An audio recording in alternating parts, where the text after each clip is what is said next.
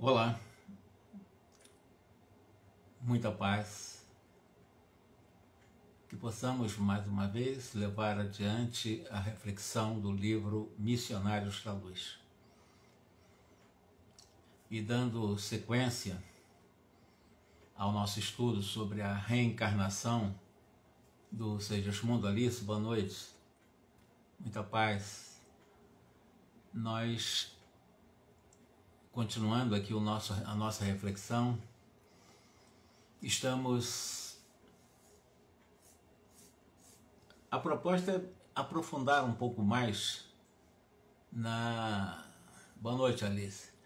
É nos aprofundarmos um pouco mais na questão técnica do processo reencarnatório para nós.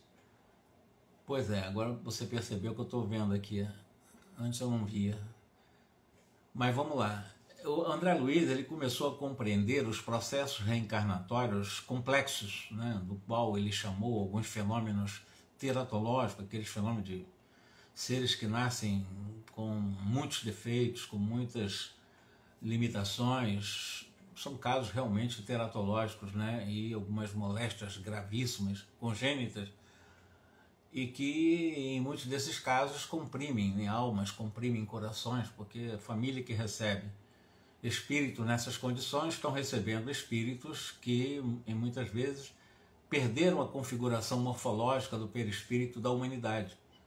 Perderam a sua própria humanidade em algum momento, assim, em termos de, de fisiologia, de morfologia.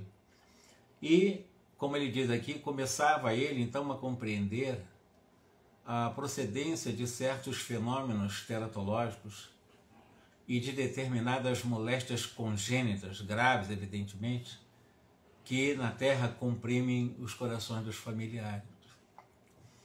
As asserções do momento, naquele momento, levavam André Luiz a fascinante estudo sobre a questão das provas retificadoras coercitivas necessárias. E aí, é, o Alexandre né, faz um convite a ele para examinar os mapas cromossômicos do futuro corpo de Segismundo, em companhia de Alexandre, junto de Herculano. O próprio André acompanhou o trabalho com bastante interesse, embora absolutamente desprovido de competência para ajuizar com precisão relativamente aos caprichosos desenhos sob o seu olhar naquele mapa cromossômico do perispírito de Segismundo. Ele via, mas não compreendia muito bem. Fim da parte propriamente técnica das conversações, Alexandre acrescentava satisfeito. Com exceção do tubo arterial na parte a dilatar-se para o mecanismo do coração, tudo irá muito bem. Então existe uma exceção aí. Exatamente o tubo arterial, a artéria, né, que evidentemente teria alguma problemática no mecanismo do funcionamento cardíaco, porque ele foi o que matou o, o que será o seu pai, né, nesse momento, né, nessa próxima encarnação, nessa encarnação agora programada. E aí, o Adelino, né, Todos os genes poderão ser localizados com normalidade absoluta. Então ele está vendo o mapa dos construtores do mundo espiritual genético do futuro corpo do Segismundo. E depois de pequena pausa, acentuou: os membros e os órgãos serão excelentes. Então ele já faz um diagnóstico diante da visualização do mapa cromossômico do futuro corpo do Segismundo e ele identificou exatamente os membros e os órgãos serão excelentes. E se o Segismundo souber valorizar as oportunidades do futuro, possivelmente conquistará o equilíbrio do aparelho circulatório, mantendo-se em serviço de iluminação por abençoado tempo de trabalho terrestre, mas tudo dependerá dele, Quer dizer, ele tem uma predisposição a uma patologia no coração como resgate de vida passada. Agora, se ele tiver um comportamento bom, ele já traz né, registrado no cromossomo essa problemática funcional do coração. Mas se ele conviver bem com o próximo, se ele realmente conseguir viver uma vida mais digna e sadia, espiritualizada, espiritualizante, ele pode inclusive inibir a eclosão de uma doença cardíaca nele, embora ele venha com esse débito né, por ter matado alguém, exatamente ferindo o coração do Adelino em outra encarnação. E o Alexandre né, é, acabou explicando o seguinte, meus amigos, o nosso Herculano, que é o espírito que vai acompanhar o Segismundo até, uh, até os seus sete anos de idade, que quando se complementa a reencarnação.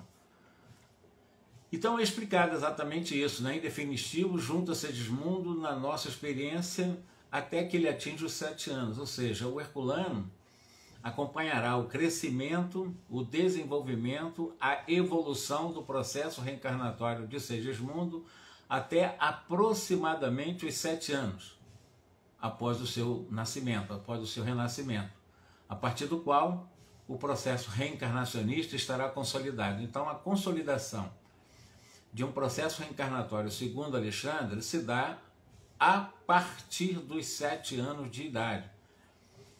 Então, até qualquer criança, até os sete anos de idade, em qualquer cultura, em qualquer parte da Terra, o processo reencarnatório, independente de cultura, é sempre o mesmo, é a questão de uma lei biológica e espiritual. Esse espírito reencarnante, até os sete anos de idade, estará sendo acompanhado por um amigo espiritual, certo? Então, Gleides, boa noite. E isso é muito importante, que poucos espíritas sabem, que a reencarnação ela só se complementa a partir dos sete anos de idade. Porque até os sete anos de idade há esses especialistas né, que vão trabalhando o acompanhamento evolutivo ou a evolução reencarnacionista desses espíritos, de todos os espíritos. Nós tivemos esse acompanhamento até os sete anos de idade. Os nossos netos têm um acompanhamento até os sete anos de idade. Depois desse período, segundo o Alexandre, a tarefa, por exemplo, de Herculano, que vai acompanhar o Segismundo até os sete anos de idade, né? É, será, digamos assim, de um sentido mais distante, ele não precisa ficar tão próximo, acompanhando o processo evolutivo né, do corpo em evolução daquele reencarnado, no caso, o Segismundo. Sei que Herculano tomará todas as providências, diz lá o Alexandre, indispensáveis à harmoniosa organização fetal então, ficou dado para o Herculano, como espírito que vai acompanhar o Segismundo até os sete anos de idade, também a, a ajudar, providenciar né, a harmonização da organização fetal. Seja auxiliando o Segismundo, seja defendendo o útero materno né, contra o assédio das forças menos dignas, dos obsessores. Né? Entretanto, Alexandre pede para ele: Peço-lhe muita atenção nos primeiros momentos da formação da glândula timo. Nós temos sete importantíssimas glândulas a partir da, da, da, nós temos a pineal, temos a hipófise, a tireoide, timo, suprarrenais, nós temos várias, são sete pelo menos, muito importantes, chamadas glândulas endócrinas. Mas o que nesse processo reencarnatório, o que o Alexandre está pedindo para o Herculano para que ele tenha muito cuidado, né, principalmente na formação da glândula timo. E ele vai explicar por quê, e nós vamos explicar aqui exatamente o porquê a preocupação com essa glândula num ser reencarnante. A glândula, como sabem, de importância essencial para a vida infantil desde o útero materno. Precisamos do equilíbrio perfeito do timo até que se forme a medula óssea, e se habilite a produção dos corpúsculos vermelhos para o sangue. Então, a, a preocupação na formação do embrião, lá do feto, é que na formação da glândula timo, ele pudesse realmente ser mantido num processo evolutivo harmônico para o equilíbrio, né, exatamente no, no processo de formação da medula óssea da criança, do, do ser que está nascendo. E com a evolução da medula, haverá a produção dos chamados corpúsculos vermelhos para o sangue. Os diversos gráficos das disposições cromossômicas facilitarão os serviços dessa natureza. alguns dos amigos presentes passaram a observar os mapas com maior atenção. Enquanto estendiam aqueles microscópicos sinais, facultando amplo exame da célula ovo, do zigoto, né, quando foi formado na função do espermatozoide com o óvulo feminino, o André ele se aproximou do Alexandre né, e, sentindo-se o mais acessível às suas interrogações, perguntou o seguinte: Alexandre, nós temos nesses mapas a geografia dos genes, da hereditariedade, distribuídos nos cromossomos. Aí o André Luiz indaga: a lei da herança será ilimitada? Quando ele fala herança hereditária, herança hereditariedade, né? Ela será ilimitada. A criatura receberá ao renascer a total imposição dos característicos dos pais? Pergunta André Luiz para o doutor Alexandre. As enfermidades ou as disposições criminosas serão transmissíveis de maneira integral? Então vejam, faz várias perguntas. Né? Uma questão da, da, Estamos falando da distribuição cromossômica, né? Se a lei da hereditariedade será ilimitada. Se a criatura que está reencarnando, né, ela receberá a imposição das características paternais, dos pais, por exemplo, as doenças que ele vem a desenvolver, as enfermidades, as disposições para o crime, as tendências morais, né, elas serão transmissíveis, os pais criminosos transmitirão a tendência criminosa para os filhos também, de maneira integral. O Alexandre explica para o André que não. Né? Nós estamos diante de um fenômeno físico natural, a reencarnação, nesse caso.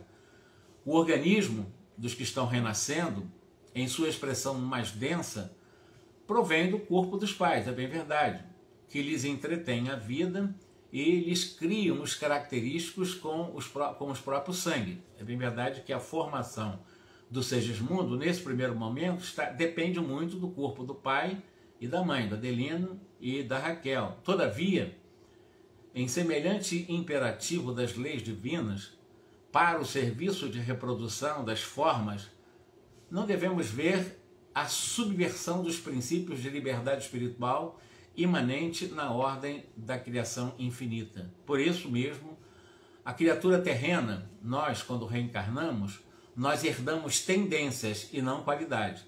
E qual é a diferença? Eu vou herdar do meu pai as tendências do meu pai, do, do meu pai né? ou as qualidades do meu pai? As tendências, elas são fisiológicas, as qualidades são morais. Vamos ver isso aqui. As tendências cercam o homem que renasce desde os primeiros dias de luta, não só em seu corpo transitório, mas também no ambiente geral a que foi chamado a viver aprimorando-se. Já as qualidades resultam do labor individual da alma encarnada na defesa, na educação, e no aperfeiçoamento de si mesma nos círculos benditos da experiência. Então, o que, eu vou herdar do meu pai no processo reencarnatório? As tendências meramente mecânicas né, de um corpo transitório, ou do próprio ambiente em si, é, e as qualidades? As qualidades resultam do espírito reencarnante, são as qualidades morais. Nós temos, num planejamento reencarnatório, num plano reencarnatório, nós trazemos alguns propósitos, que são exatamente o convite para desenvolvermos as qualidades morais. Portanto, o convite em qualquer processo reencarnatório é para nós transmutarmos as viciações em virtudes. Isso, por isso nós levamos muitas centenas de reencarnações para podermos ir progredindo. Porque não é uma coisa simples você transformar uma viciação, uma tendência egóica, uma tendência negativa em uma tendência positiva ou em uma virtude. Né? Isso é um propósito. Por exemplo, numa programação reencarnatória, nós temos vários desafios né, no território da nossa experiência. Família, né, os pais, os irmãos, onde eu vou estudar, onde eu vou morar, quais as minhas situações socio e econômicas, enfim, todas essas questões mais periféricas, né, mais de fora, que vão me trazer algumas tendências. Mas as qualidades na realidade, não são meus pais que vão trazer para mim as qualidades. Ou seja, o propósito de eu desenvolver virtudes. Não são eles que vão me passar virtudes. Na realidade, é um trabalho individualíssimo. Nós somos indivíduos no universo, somos únicos no universo. O trabalho das qualidades é um trabalho individual, né? E exatamente à medida em que eu trabalho na educação, no aperfeiçoamento de mim mesmo, né? Em toda a experiência na vida física. Então, no propósito reencarnatório, eu posso vir com várias experiências, com vários gêneros de experiência, várias pessoas em minha vida, problema econômico ou não, etc. Tudo isso. Mas normalmente nós escolhemos uma ou duas, ou no máximo, no meu modo de pensar, três virtudes a serem desenvolvidas. E já é muito complicado e muito trabalhoso desenvolver uma virtude. Exemplo, eu sou uma pessoa profundamente vaidosa. Qual é a virtude que substitui a vaidade? A humildade. Então eu tenho um propósito de desenvolver naquela encarnação a humildade. Toda vez que a vaidade se apresenta, através do esforço que eu faço, trabalhando as qualidades morais que eu tenho, num propósito de reencarnação para desenvolver virtude, eu vou me esforçando para exercer a humildade. Aí eu vou transmutando a vaidade em humildade. Isso serve para todas as viciações. Pessoa irritada, naquele momento está se irritando, ele tem um propósito de desenvolver a virtude da paciência, da serenidade. Então ele está irritado. E ele vai se esforçar para que no momento que ele está para explodir, ele exercite exatamente o autodomínio e exercite a paciência, a tranquilidade. Ele está desenvolvendo virtude. Isso leva muito tempo para nós conquistarmos as virtudes. Não será num passe de mágica, num estalar de dedo. Mas uma encarnação, então, tem essas características. Vários gêneros de experiência, do berço ao túmulo, mas normalmente nesses vários gêneros de experiência, nós temos um, dois ou três propósitos. Ou seja, desenvolver uma, duas ou três virtudes. Eu acho muito desenvolver uma virtude. Imagine três. Em cada encarnação, nossa encarnação é para isso, é um convite para desenvolvermos virtudes. Né? Se nós estamos reencarnados, diz assim, se o espírito reencarnar estima as tendências inferiores, desenvolvendo essas tendências inferiores, o que, que vai acontecer? Ele vai reencontrar exatamente pelos seus instintos, pela sua busca, né? dentro desse novo quadro de experiência reencarnatória na experiência humana, né? E ele acaba perdendo um tempo precioso numa reencarnação, porque ele está menosprezando esse ensejo de elevação, desenvolvendo a virtude. Exemplo, mais uma vez, toda vez que eu tenho uma tendência negativa, nos pensamentos negativos, nos sentimentos negativos, nas emoções negativas, é, e eu fizer a transmutação desses momentos para o contrário, ou seja, a virtude que transmuta o vício, com certeza absoluta eu estou avançando muito na minha encarnação, eu estou aproveitando, eu não estou menosprezando o ensejo de elevação. Agora, o que, é que nós fazemos? Estamos irritados? Mais irritados ficamos. Né? Estamos inquietos? Mais inquietos ficamos.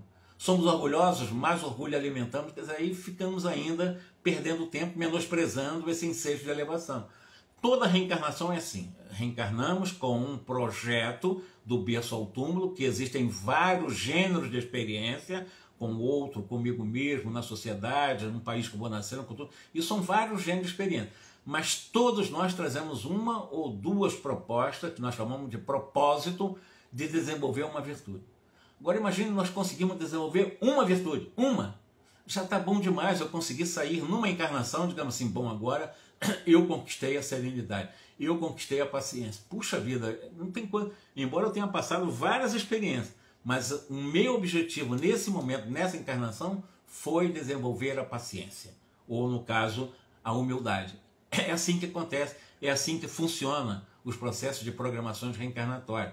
Na retidão tem gente que quer já desenvolver mil virtudes a sair daqui santificado. É impossível para nosso estágio evolutivo na Terra. Os processos são graduais, são cada encarnação nós evoluímos um pouco numa virtude ou na outra, ou ficamos estacionados, perdendo tempo nesse ensejo ou esse convite de elevação que a, que a reencarnação nos possibilita. Todavia, se a alma que regressar ao mundo permanece disposta ao serviço de autoelevação, sobrepairá quaisquer exigências menos nobres do corpo ou do ambiente triunfando sobre as condições adversas e obtendo os títulos de vitória, da mais alta significação para a vida eterna.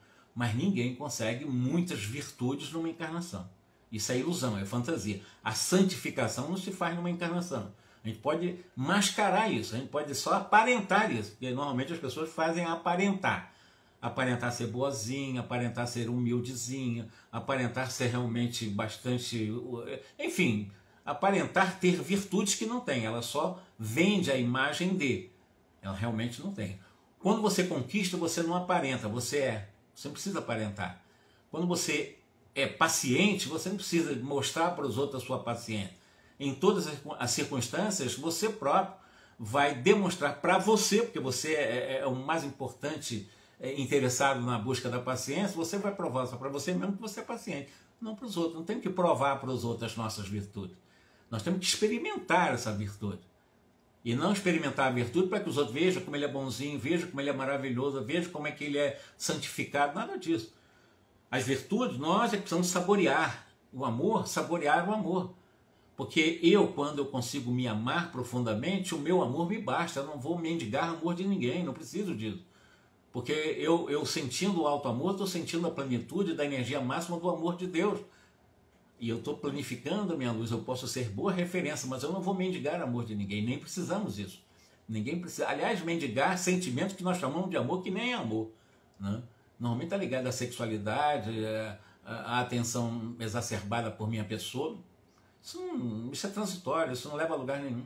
Ficamos estacionados nessa viciação de rogar, de mendigar, pelo amor de Deus, goste de mim. O povo gosta de mim, as pessoas vão atrás de likes em rede social. Ah, eu tive só duas, duas, duas curtidas. Como se isso fosse importante na vida dela. Fosse a coisa mais importante. A coisa mais importante na vida de cada um de nós é ver como nós estamos conosco se eu estou me sentindo bem comigo, essas coisas não são nem um pouco importantes da minha vida, mas nem um pouco, não tem importância nenhuma. O que vai ter importância é como eu estou me sentindo comigo. A partir daí, sim, eu posso ser uma, um bom estímulo, um bom exemplo, posso aconselhar a pessoa a encontrar o caminho que eu encontrei, porque eu também não posso caminhar por ele. Eu não posso tirar aqui meia dúzia de virtudes realmente que eu já conquistei, então isso aí é para você. Ninguém consegue fazer isso. A virtude é uma conquista individual. Então, lembrando, recapitulando, nós temos um plano reencarnatório. Em nosso plano reencarnatório, nós temos do berço ao túmulo várias experiências com várias pessoas, com várias situações, com, enfim, aprendendo aqui, com tal família, com tais irmãos, tais primos. São condições, são gêneros de experiência. Tá? Fundamentalmente, nesse gênero de experiência, nós somos convidados, também não é nada imposto, a desenvolver virtudes. Uma ou duas, no máximo três, para quem tem já um, uma boa estrada caminhada na, na, na, estrada do bem. Aí pode desenvolver três virtudes, o que eu acho muito difícil. Mas uma está muito bom. Eu já consegui desenvolver, por exemplo, a paciência quando eu tenho uma tendência à irritabilidade. Normalmente, nosso, nosso propósito é nos comprometer a desenvolver virtude naquele vício que mais nos incomoda. Vocês querem saber qual é o seu propósito de atual encarnação? É ver aqui, a, a, qual é a sua tendência negativa que você mais, assim, você menos gosta, né? que você mais tem lutado contra, não é lutar contra. Não temos que lutar contra a tendência negativa. É nós reconhecermos que temos a tendência, ao reconhecer que temos a tendência, fazemos uma reflexão qual a virtude que substitui a minha má tendência.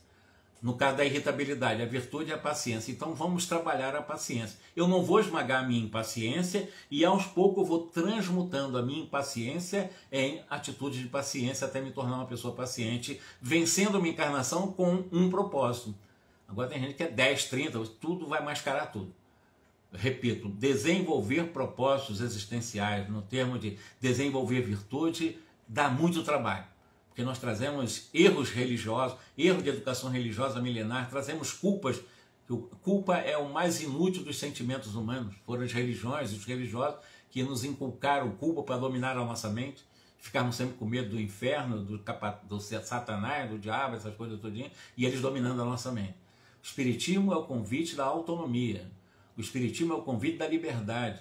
O Espiritismo é exatamente o convite para que eu possa, aos poucos, ir ressignificando essas crenças medievais e começar a buscar o meu caminho com liberdade. Deus não está o tempo todo me vigiando nas mínimas coisas. Deus não vigia, Deus ama. Deus não condena, Deus ama. Deus não censura, Deus ama. Então isso é importante botar na nossa cabeça. E nesse propósito reencarnatório, com certeza nós avançamos bem, sem exigência, sem negligência, mas com responsabilidade. O que, que é isso? Exigência, exigir não errar nunca, é impossível, vamos errar. Somos seres humanos. Ou então negligência. Não sou ser humano, eu posso errar. Também não. Não é negligente, porque vai entrar desculpa. Então tu tem a culpa e a desculpa, são dois extremos. Nem a culpa e nem a desculpa, nem a exigência nem a negligência, mas a responsabilidade. É se errar, reconhecer o erro, se arrepender, reparar para reparação a partir da expiação. É simples assim, mas dá trabalho. E a pessoa quer espiar sofrendo muito, tem que espiar sofrendo muito, espiar sofrendo muito. Sofrimento não dá nenhum tipo de iluminação e nem purifica ninguém. Sofrimento já é uma rebeldia de inaceitação da dor. Então o que nós precisamos fazer é reconhecer nossas deficiências, nossas fraquezas, conviver com ela e aos poucos ir transmutando, mas sempre perder, nunca perdendo o, copo, o foco do alto amor, do alto respeito, da autovalorização, da autossegurança e aí continuar caminhando. Aí eu vou desenvolver propósito em vários gêneros de experiência do berço ao túmulo. É, vamos ver o que ele fala mais aqui. Em sã consciência, portanto, ninguém se pode queixar de forças destruidoras ou de circunstâncias asfixiantes em se referindo ao círculo onde renasceu. Haverá sempre dentro de nós a luz da liberdade íntima indicando-nos a ascensão. Olha que frase interessante que ele utiliza. Em sã consciência, ninguém se pode queixar, ficar reclamando, né? por causa das forças antagônicas, que ele chama de destruidora, diante das circunstâncias que nos esmagam, que nos asfixiam, referindo-se, não, nasci no meio de marginal, nasci no meio de prostituta, nasci na mais absoluta pobreza, e colocar essas circunstâncias asfixiantes, né, fazendo exatamente nesse renascimento como se fosse um escapismo, não, justifica eu poder errar porque eu nasci numa condição desfavorável, não. O convite é para que nós possamos desenvolver dentro de nós a luz da liberdade íntima, indicando-nos a ascensão pela renúncia, pelo sacrifício, pela humildade. Nasci na pobreza, tudo é um convite a humildade ao meu orgulho. Ah, eu nasci no meio de pessoas violentas, é um convite para que eu possa amansar a minha rebeldia. Então nós temos todas, em todas as circunstâncias, nesses gêneros de experiência, um convite para desenvolver a virtude. Agora, isso é individual. Cada um que escolhe o caminho. Não tem como impor. Não, você tem que ser humilde, você tem que ser bom. Cada um vai encontrar esse caminho. Deus não impõe nada. Deus não nos impõe nada. Tudo que a pessoa faz por obrigação, não, eu tenho que ser bom, ela vai mascarar a bondade. Eu tenho que ser realmente iluminada, ela vai mascarar essa autoiluminação. Nada feito, Deus não exige nada de nós, nada deve ser feito por obrigação. Todas as nossas conquistas precisam ser, ser, ser realizadas de forma consciente, sem a obrigação de, mas como um convite, né? com o dever, cumprindo o dever. Cumprir dever não é uma obrigatoriedade, é uma obediência ou uma submissão às leis divinas da consciência. É diferente. É muito diferente você se submeter às leis divinas da consciência. Mas qualquer coisa que qualquer um de nós aqui faça por obrigação, com certeza vai mascarar a virtude. Não tem jeito. Nós precisamos fazer as coisas por espontaneidade, nunca por obrigação, nunca. A palavra é essa, nunca por obrigação.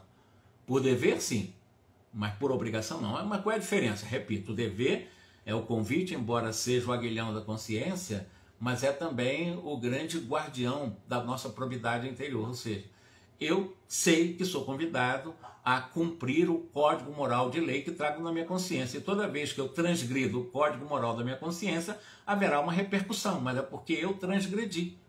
Aí eu preciso conhecer esse código moral que eu trago na consciência, das leis de Deus, a maior é a lei do amor, justiça, caridade, e assim vai. Né? Praticando a, sub, a, a subida espiritual, melhoraremos sempre, esta é a lei. Em virtude das anteriores explicações do Alexandre relativamente à importância da assistência de Herculano ao próprio Segismundo reencarnando, até os sete anos de idade, o Segismundo, né, o André procurou obter de Alexandre algumas elucidações a respeito. Por que tamanho cuidado com o sangue do futuro recém-nascido? Ou seja, Herculano, tome conta na formação do timo, da glândula timo, porque ela vai ter que controlar essa formação sanguínea até a complementação da coluna vertebral, da, da, da medula, né, para a formação dos glóbulos vermelhos. O André Luiz estava querendo saber por que tanta preocupação com o sangue do recém-nascido, por que tanta preocupação com a questão sanguínea de um bebê. Essa é a pergunta de André Luiz. Somente aos sete anos iniciais de existência humana estaria terminado o serviço de reencarnação? Outra pergunta feita por André Luiz. E o Alexandre respondeu o seguinte: Você não ignora que o corpo humano tem as suas atividades propriamente vegetativas, mas talvez ainda não saiba que o corpo perispiritual, que dá forma aos elementos celulares no corpo físico, está fortemente radicado no sangue. Ponto, já deu uma resposta. Por que a preocupação com o sangue? Porque a moldagem do corpo será dada a partir do perispírito que está enraizado no sangue. Então, onde é que está enraizado o perispírito através do chamado fluido vital?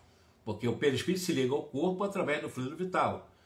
E considerando o fluido vital, considerando as moléculas do sangue, o perispírito está radicado no sangue. Por isso, se dá toda uma atenção à glândula timo na formação do corpo e à questão da produção sanguínea até os sete anos de idade, porque o perispírito está formando ainda a reencarnação em formação profundamente ligado ou radicado no sangue. Então veja a ligação sangue com o perispírito. É isso que está sendo explicado aqui. Na organização fetal, o patrimônio sanguíneo é uma dádiva do organismo materno. Isso é um ponto. Então, o sangue do bebê é um patrimônio do sangue da mãe. Isso que está dizendo. Logo após o renascimento, inicia-se o período da assimilação diferente das energias orgânicas, ou seja, daquilo que herdou da mãe, né? em que o eu reencarnado ensaia a consolidação de sua nova experiência, quando ele vai começar a produzir o seu próprio sangue. Por enquanto, ele tem o sangue da mãe. Né? Ela está recebendo exatamente o sangue que veio do corpo, da biologia da mãe. E somente aos sete anos de vida comum começa a presidir por si mesmo o processo de formação do sangue. Ou seja, até os sete anos, a herança sanguínea da mãe vai estar muito presente nessa criança até os sete anos de idade a partir daí é que o espírito começa a administrar, a gerenciar, a presidir por si mesmo o processo de formação do sangue. Lembrando que estamos falando de medula também, formadora do sangue, etc. Então, de qualquer maneira, olha a importância do sangue para o, para o nascituro, né? olha a importância que foi dado. Herculano, toma cuidado aí com o timo, né? porque o timo está ligado a questões da imunologia, da imunidade do corpo e, e, e da produção também para a questão da sanguínea, etc. Ele, o elemento básico de equilíbrio ao corpo perispirítico ou forma persistente do no, novo serviço iniciado do sangue, portanto, é como se fora o fluido divino que nos fixa as atividades no campo material, ou seja, no processo de reencarnação que vai até os sete anos de idade, o sangue é extremamente importante na fixação do perispírito e moldagem desse corpo, a partir do feto, a partir da concepção. Olha a importância do sangue, considerando que é no sangue que está enraizado o perispírito. Como assim? Nas moléculas sanguíneas, nos átomos sanguíneos, né? nos átomos que compõem as moléculas sanguíneas.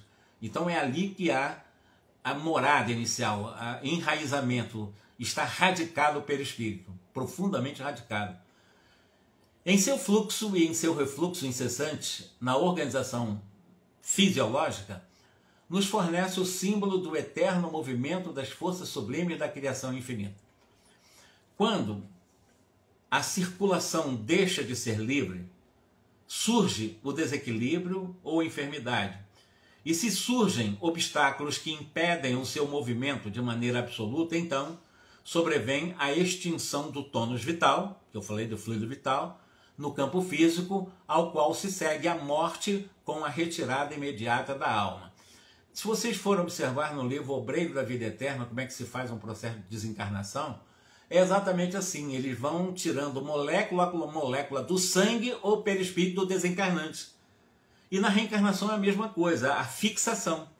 Então é um serviço inverso. Na desencarnação, molécula a molécula vai tirando o perispírito do corpo para desencarnar, vai tirando exatamente porque o perispírito está ligado ao sangue.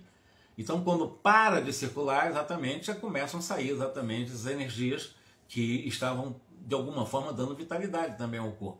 Então, vejam que na desencarnação, molécula a molécula sanguínea vai cedendo e liberando o perispírito, e na reencarnação acontece o contrário, há uma fixação, e a partir dos sete anos é que o espírito começa a produzir o seu próprio sangue, aquele do qual, quando chegar a desencarnação, ele vai ter que se liberar também e os espíritos fazem esse trabalho de liberação a partir das moléculas sanguíneas para a desencarnação. quando o próprio sangue vai começando a perder a sua vitalidade em termos de corrente de, né, do seu movimento. Oh, como é grande a responsabilidade, ele continua dizendo, né? Oh, como é grande a responsabilidade do homem em frente ao corpo físico, né? E o Alexandre concordou com ele, né? Se, sem atender às pesadas responsabilidades que lhes competem na preservação do vaso físico, homem algum poderá realizar o progresso espiritual. Ou seja, se nós não termos uma consciência mais ampliada da responsabilidade que nos pesa na própria consciência a preservação do corpo físico, nós sequer poderemos realizar alguma coisa de útil em nosso progresso espiritual. Quem não, não cuida do corpo não cuida do espírito. É isso que ele está dizendo. Para cuidar do espírito, precisamos preservar o vaso físico para que nós possamos realizar o nosso avanço espiritual. É muitíssimo importante o corpo físico. Ele é um instrumento. Eu não sou o corpo físico, eu tenho um corpo físico, mas ele é um instrumento para o meu progresso. Ele está me permitindo eu desenvolver um propósito, uma ou duas virtudes, não importa, com vários gêneros de experiência, do qual sou convidado a viver. O espírito renasce na carne para a produção de valores divinos em sua natureza. Mas como atender ao semelhante imperativo, destruindo a máquina orgânica, base fundamental do serviço a fazer? Ou seja, como é que eu posso evoluir espiritualmente, diz ele aqui, não tratando bem no meu corpo, né? não tratando de uma forma fundamental né? de equilíbrio, de harmonização do nosso corpo. Nós sempre estamos macerando nosso corpo, ou seja, por uma má alimentação, ou por excessiva irritabilidade o tempo todo em estado de irritação, ou criando estresse cada vez mais, levando a depressões, ou angústia de pessoas que não gostam do próprio corpo, que rejeitam o próprio corpo, que se rejeitam o tempo todo. Na realidade, esses são processos que estão destruindo toda a possibilidade de um progresso espiritual. Eu fico estacionado. Até porque eu não estou conseguindo preservar a máquina orgânica fundamentalmente para eu poder evoluir. Então, só evoluo espiritualmente se eu trabalhar com cuidado esse corpo que me é emprestado, não é meu. E tem pessoas que fazem absurdo nos seus corpos, nos seus corpos, né? Tem aqueles que não gostam do corpo que tem rejeita a figura, a imagem que tem, porque ela rejeita a alta imagem, aí ela vai para os médicos, cirurgiões, para mudar a imagem, para ter imagem igual de eh, a cristal, ou as Barbie da vida, ou os da vida e tal, e muda totalmente porque não gosta do corpo que tinha. Malbaratando, destroçando um corpo né, que não é dela, ela desfigura o corpo todinho, num processo psiquiátrico grave, não tenha dúvida, isso é um processo psiquiátrico, um processo mental grave, a pessoa não gostar e querer outro rosto, ou querer outro sexo, essas coisas todo É complicado isso. Eu estou falando isso com toda a minha sinceridade. O corpo, do jeito que nós re reencarnamos, ele tem que ser respeitado. Mesmo com as minhas tendências no campo da sexualidade, tem pessoas que vêm com uma tendência diferente do corpo e quer é, rejeitar esse corpo e quer transformar esse corpo em, em um corpo de outro sexo por mais respeito que nós tenhamos, e nós temos que ter, mas nesse processo reencarnatório alguma coisa está com uma falha muito grave. Não está se atendendo ao imperativo de preservar um corpo reencarnado naquelas condições. Por mais que eu tenha uma psicologia diferente daquele corpo, eu preciso conviver com isso. Se são conflitos, não são conflitos gratuitos, não é de graça que eu estou passando por isso. Não existe isso, Deus não pune. Mas existe uma lei de causa e efeito que balança muito nossos equilíbrios e desequilíbrio. Esse nosso corpo precisa ser respeitado como nós recebemos e cuidar dele o máximo possível. Mas não estou dizendo também, que, com todo o respeito que eu tenho, aquelas pessoas também que ficam todo, né, chamados saradões, né, todo musculado, todas aquelas coisas, verdadeiros adões, verdadeiros, né, vão para o espelho com aqueles músculos se beijando, não estou falando. Isso é também um outro desequilíbrio. Né? Isso é um narcisismo, é um outro tipo de desequilíbrio psicológico. Não é isso que eu estou falando. Cuidar bem do corpo, com razoável bom senso né? fazer, uma, uma, uma, fazer uma caminhada ou corridas saudáveis. Eu acho que não tem nenhum problema realmente fazer razoável fortalecimento de musculatura, mas não com aquelas coisas excessivas, em que as pessoas realmente se adoram e normalmente ligado mais às questões das seduções materiais, seduções no campo do sensualismo, porque normalmente pessoas fazem isso para atrair no campo do sensualismo outros seres, outros parceiros. Quer dizer, isso não é um equilíbrio. É claro, eles não conhecem o que nós conhecemos, mas aí um dia terão que conhecer, porque é da lei de Deus a necessidade de conhecer essas verdades. Essa verdade não é só para espírita, essa verdade é para não espírita, para encarnar, para desencarnar, para evangélico, para católico, para ateus, para brasileiro, francês, para o mundo, é para o ser humano. Essas verdades é para todos os seres humanos. Então é uma verdade inalienável, é uma verdade que não tem como nós realmente desfazermos dela. A ignorância pode levar as pessoas ainda continuar fazendo isso, mas no dia ela vai ter que despertar para saber que esse corpo precisa ser bem cuidado. Ele precisa ser muito bem, realmente, fundamentalmente, ser preservado. Né? Comer na hora certa, ter a hora do descanso, não ficar violentando ele com irritabilidade o tempo todo, brigando com todo mundo, pensamento negativo o tempo todo, né? depressões o tempo todo. Não, vamos mudando, vamos dar tempo para oração, vamos dar tempo para meditação, vamos dar tempo para concentração, vamos dar tempo para respiração de uma forma técnica, vamos dar tempo para os relaxamentos nas horas certas. Até na hora do banho nós podemos fazer isso, tomar um banho de cinco minutos, nós podemos fazer uma prece, podemos fazer um relaxamento, aproveitar a água, né, que é da natureza, aquele batendo, né, fazendo uma limpeza do nosso corpo, ó, espiritual também, magneticamente. Nós temos todo, todo um convite para isso, mas não, as pessoas ou elas ficam exacerbadamente adorando ou não gostando do corpo, fazendo outro corpo, né? Ou realmente acabam desprezando todas essas possibilidades de tratar muito bem essa máquina orgânica como sendo o elemento fundamental para a nossa espiritualização. Ainda agora, referia-se você à lei da herança do corpo terreno, pergunta André Luiz. É também um patrimônio herdado há milênios e que a humanidade vem aperfeiçoando através dos séculos. O plasma, sublime construção efetuada ao influxo divino, com água do mar, nas épocas primitivas, é o fundamento primordial das organizações fisiológicas. Em voltando à crosta, temos de aproveitar a herança mais ou menos envolvida no corpo humano. Alexandre, depois de um ligeiro intervalo, continuou. Por isso mesmo, não desconhece você, André, que enquanto nos movimentamos na esfera da carne, somos criaturas marinhas respirando em terra firme. Então, nós somos verdadeiros peixes em outras palavras, no processo vulgar de alimentação, nós não podemos prescindir do sal. Detalhe que o Alexandre está dando para nós. O nosso mecanismo fisiológico, a rigor, se constitui de 60% de água salgada. O nosso corpo é composto de 60% de água salgada, salgada, cuja composição é quase idêntica à do mar, constante dos sais de sódio, de cálcio e de potássio encontra-se na esfera de atividade fisiológica do homem reencarnado o sabor do sal no sangue, o sangue é salgado, no suor, o suor é salgado, as lágrimas, as lágrimas são salgadas e outras secreções elas têm o sabor de sal. Os corpúsculos aclimatados nos mares mais quentes viveriam à vontade num líquido orgânico. Há verdadeiras surpresas de comparações análogas ou analógicas, né? que poderíamos efetuar nesse sentido. E Alexandre continuou a conversa. Como vê, ao renascermos na crosta do mundo, recebemos um corpo, ou corpo, uma herança sagrada cujos valores precisamos preservar, aperfeiçoando-o. As forças físicas devem evoluir como as nossas almas. Se nos oferecem o vaso de serviço para as novas experiências de elevação, devemos retribuir com o nosso esforço, auxiliando-as com a luz do nosso respeito, com a luz do equilíbrio espiritual, no campo de trabalho e educação orgânica. Mais uma vez, as forças fisiológicas devem evoluir como as nossas almas. Né?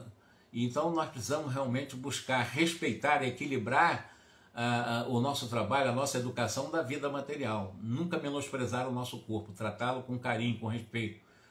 O homem que do futuro compreenderá que as suas células não representam apenas segmentos de carne, mas companheiras de evolução criadora ou credora do seu reconhecimento e auxílio efetivo. Sem esse entendimento de harmonia no império orgânico, é inútil procurar a paz. A conversação brilhante do orientador magnânimo e sábio sugeria sublimes questões. Entretanto, ele mesmo recordou-me o trabalho em curso e deu por findo os esclarecimentos daquela hora. Mas veja só que aula maravilhosa que ele nos dá sobre a questão do nosso arcabouço fisiológico. que nós viemos lá dos primeiros seres unicelulares, realmente sabemos que a vida biológica surge dos mares, trazemos a herança, inclusive, através, a partir do próprio sal, a necessidade, 60% do nosso corpo é, sal, é, é, água salgada, como ele fala aqui, né? é composto de água salgada. Então, o que nós precisamos realmente ter com certeza é aproveitar as oportunidades que Deus nos dá para preservar o nosso corpo, né? cuidar dele, né? o descanso na hora certa, não sobrecarregar com ela com, com excessivos trabalhos, né?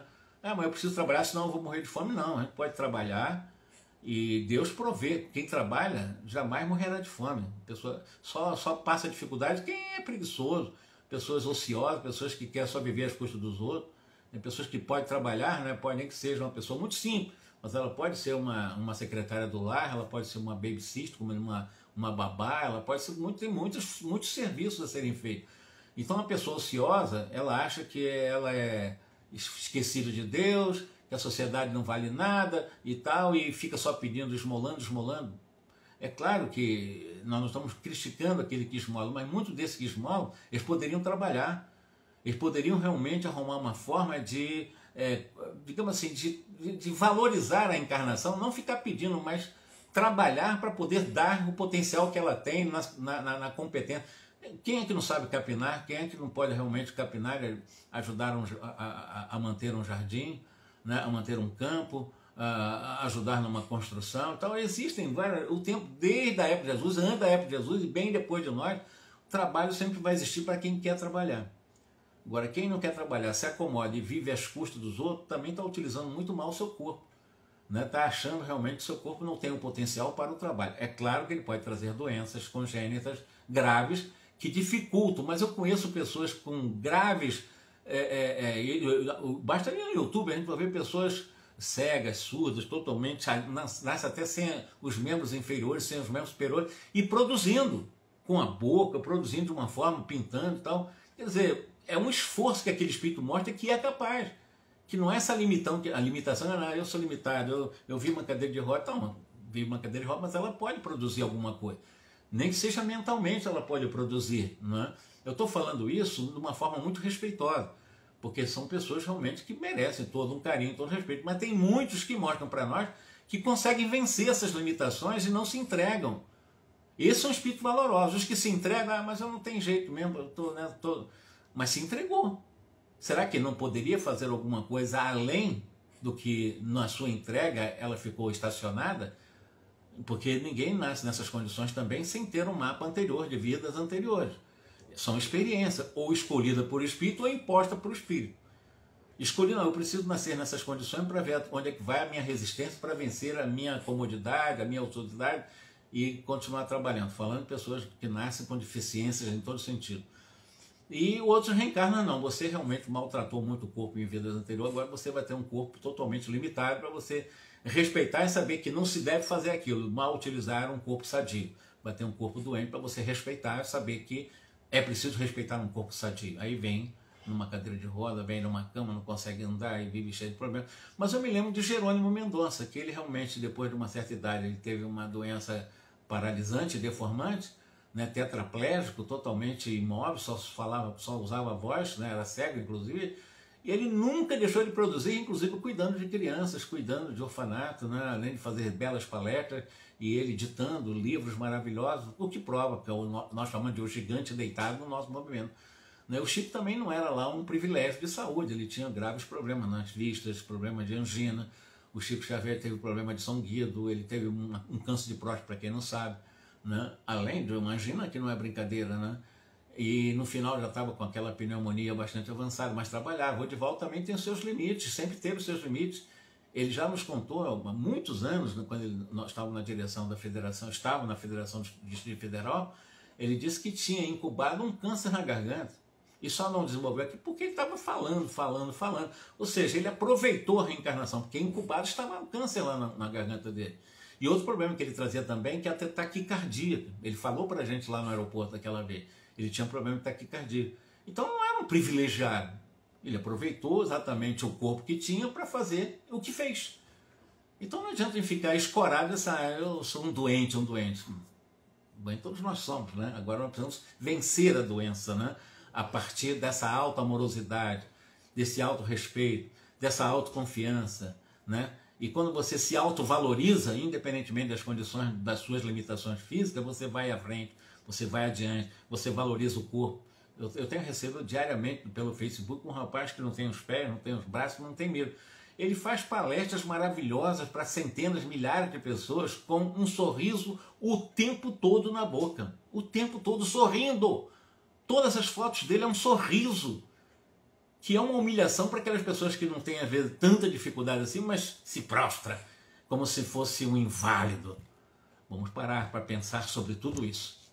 Que Jesus nos ampare, nos proteja e nos abençoe e vamos continuar. E olha que estamos falando de um processo reencarnatório, entrando em detalhes, nós estamos falando de um processo reencarnatório de Segismundo. E é muito importante nós refletirmos sobre tudo isso para a nossa vida, para a atual encarnação. Não é? Boa noite para todos, então, um grande abraço. Até sábado que vem, vamos dar continuidade com o doutor Alexandre, com o grande André Luiz, com o Herculano e outros grandes mentores. Né? Muita paz para todo mundo.